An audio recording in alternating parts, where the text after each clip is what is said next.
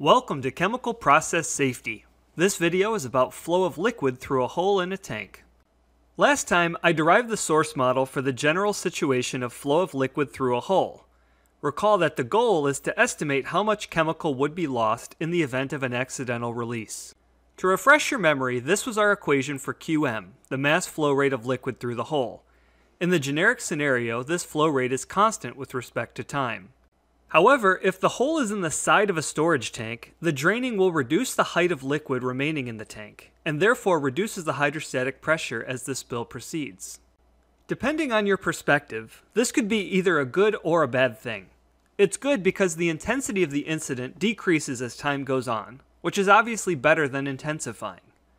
But it's also bad because the spill is worse at the very beginning, before you've had time to react.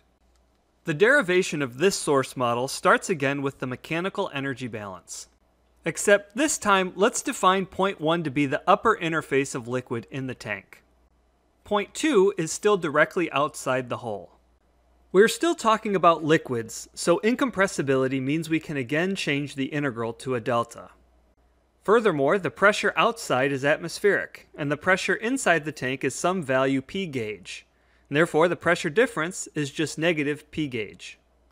Next, although the fluid at the upper interface is moving downward as the tank drains, we will assume that the velocity is negligible compared to the exit velocity.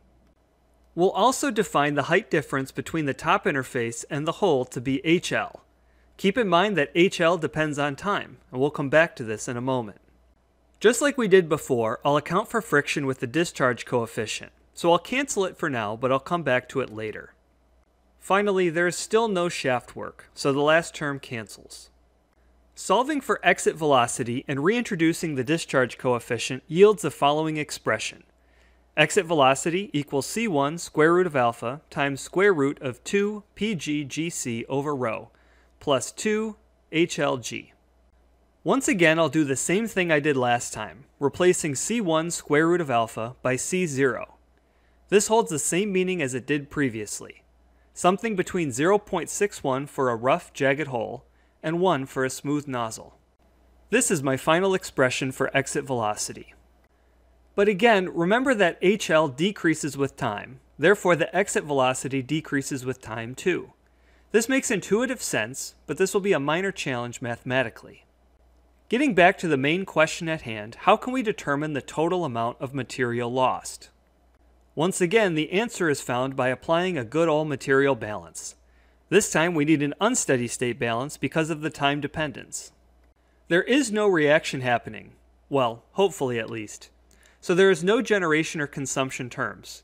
The balance is just accumulation equals input minus output. But actually, there is no input, so that term cancels as well. The accumulation is the time derivative of mass, and the output is minus qm, the mass flow rate. It's good practice to plug in the expression for QM so we don't accidentally treat it as a constant. Remember that mass flow rate is density times volumetric flow rate, and volumetric flow rate is velocity times the area of the hole. So that we can separate variables more effectively, let's also express mass as density times the volume. Except here, volume is the cross-sectional area of the tank times HL. Since we are now tracking two areas, pay careful attention to the subscripts here. AT is the area of the tank, and AH is the area of the hole. Next, we can plug in that expression for velocity that we just derived. In case you need a refresher, this was that expression. Once I plug this in, everything is now constant except for HL, which is now the dependent variable. I can separate the variables and integrate. I'll leave the details for you to practice, but I'll give you the hint that it involves U substitution. Here is the result you should have gotten.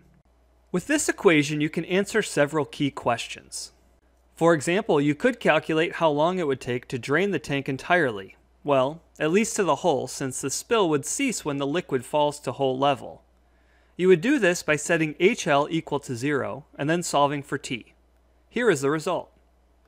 You could go one step further and set PG equal to 0 if you're analyzing a tank that is vented or open to the atmosphere, since the pressure inside will be atmospheric. You could also rearrange this equation and solve for HL as a function of t. You can then obtain an expression for the mass flow rate Qm in terms of t, which is quite handy. Finally, you can integrate that function with respect to time to obtain the total mass lost. Looking at this expression, we can see that the total mass lost is a function of the density, tank size, discharge coefficient, the initial height of fluid above the hole, the area of the hole, and of course the time that the spill was occurring. Isn't it neat how you can answer these process safety questions by applying fundamentals?